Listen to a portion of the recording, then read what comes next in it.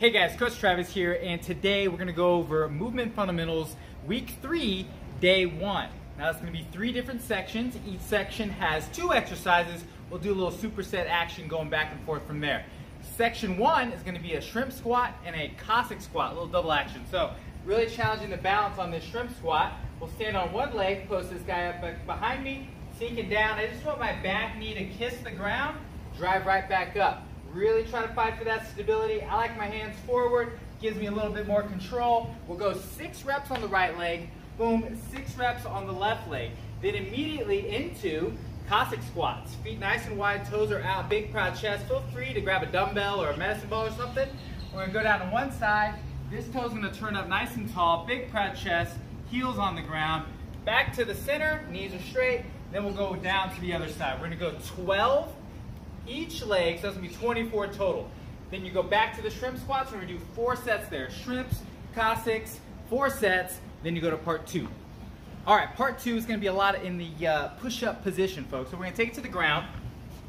We're gonna start out with eight push-ups, nice and controlled, squeezing the legs nice and tight, nice and tall at the top, smooth down, smooth up. Want that nice control here, making sure the belly's not sagging, nice control of the elbows, nothing crazy there. Then immediately into scap push-ups. Holding this plank, I wanna squeeze my shoulder blades together without losing that midline squeeze, and then right back to the top.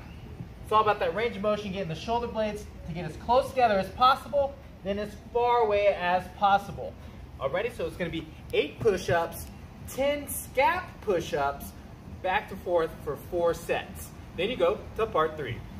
And then we have part three. This one's gonna be single leg RDLs, 10 each leg, and then Superman pull downs. We'll go 12 reps there on the stomach. So that RDL, folks, back on the balance game. We can bring the leg out in front, make sure we're stable and tall. Then we'll hinge at the hip, taking that leg back behind us, keeping the back flat, shoulders big and proud, then back to the top. If you have some control, don't be afraid of a little speed here back up to the top, maybe a little speed down, make sure you have that control, boom, back up to the top. We're gonna go 10 on one leg, and then 10 on the other leg. Then we're taking it to the ground for Superman pull downs. On your stomach, we'll lift the legs up, arms out, nice and wide. We'll start in that Superman position, pull the elbows in towards each other, then reach them back, back out. Let's keep the chin tucked here as we reach out in front of us and squeeze in nice and tight, keeping the body nice and rigid, reaching as far as we can right there.